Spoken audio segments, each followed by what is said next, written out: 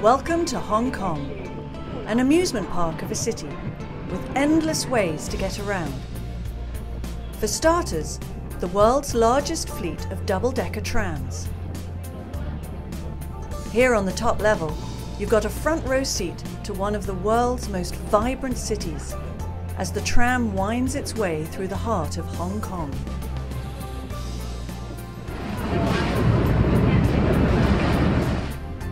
Ancient and modern collide here, especially on the Star Ferry. In operation for nearly 130 years, these boats crisscross Victoria Harbour day and night. It's one of the world's best views, for less than 50 cents a ticket.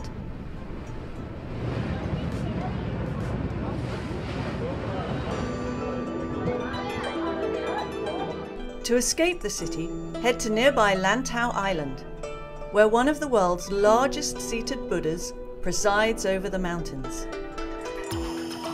To get here, just jump in a glass bottomed gondola. One could argue whether this mode of transportation was necessary for Hong Kong. But you have to admit, it's a pretty great way to travel.